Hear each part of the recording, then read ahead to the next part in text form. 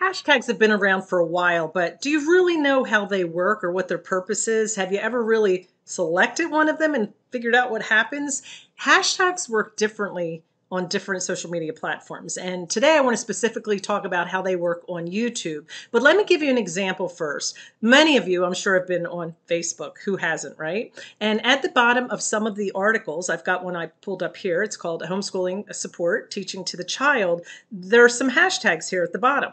And it says hashtag schooling support, schooling, and simply schooled. If I select any one of these hashtags, it will bring me to other Facebook posts that have the same hashtag. Now you might say, well, why would you want to do that? If you've got homeschooling support and you're trying to help people, why would you want to direct people to another page? Because I want I think it's really important in any social media platform or community to have an attitude of wanting to help those who are in the same circle as you are.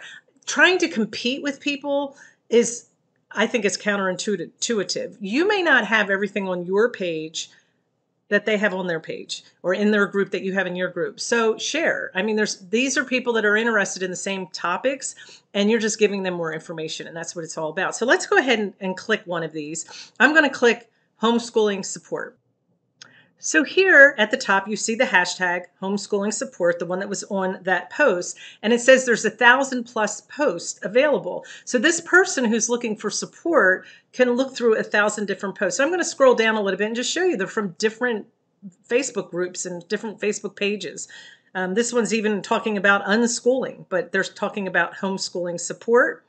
Ocean View, Bethany Beach, so it's um, maybe some local support groups maybe people were looking for for that and then when they go through here they follow they find them. Here's one from australia. So homeschooling support is going to bring up a lot of different posts that you can go through. It's helping your followers in this sense on facebook find more information that that they that they can get.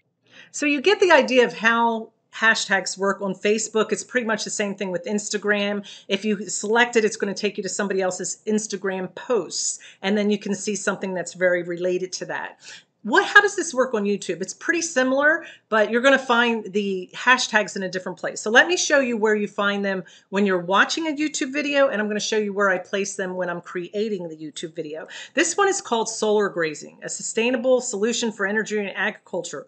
How does it affect Amish life? Now remember, the niche of this whole channel is Amish, so I want to always have Amish in all my titles. It's not difficult to do, of course, but my hashtags for this particular YouTube video is My Amish Neighbors, which is the name of the channel. I always have that.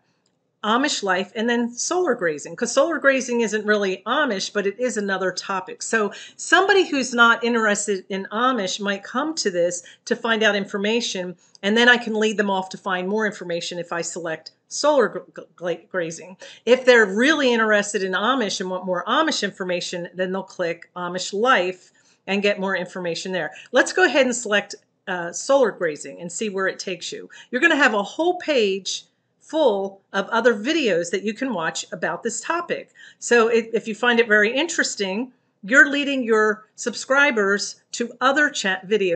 Isn't that horrible? You're, you're sending them to other channels and other videos and they're going off your page.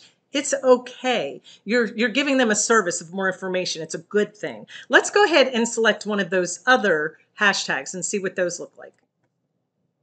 This time I'm going to select My Amish Neighbors because that is the name of the channel. Now this time I'm being a little selfish. I am leading them to every single video that I've made. That hashtag is going to take them to every video that I have that hashtag on. Now sometimes I might forget so that it may, it may not show up, but in general I put it on all of them.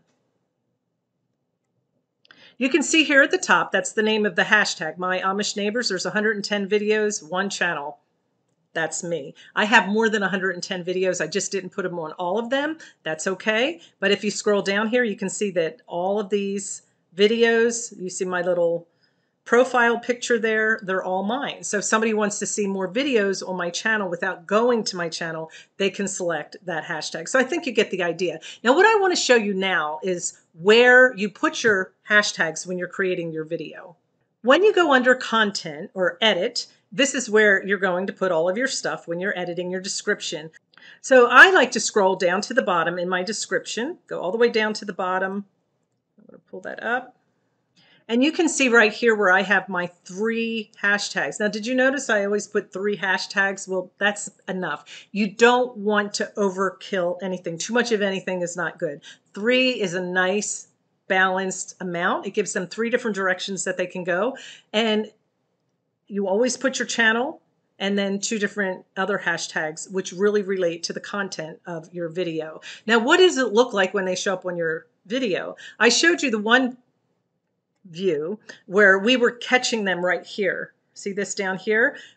They're also in your description. So let's scroll down and look in the description right where I put them they're right here as well. So if somebody can't see really well and they don't see those little hashtags up there and they're in your description, they have another opportunity to, to click them from there. I hope this has helped you today because hashtags are really valuable. I really, in the beginning, wasn't sure how they worked and I wasn't sure why I was doing it, but everybody said to do it, so I did it. So I have really recently been putting more thought into the hashtag and really trying to get more information for my subscribers so that they can go watch other videos that relate to that.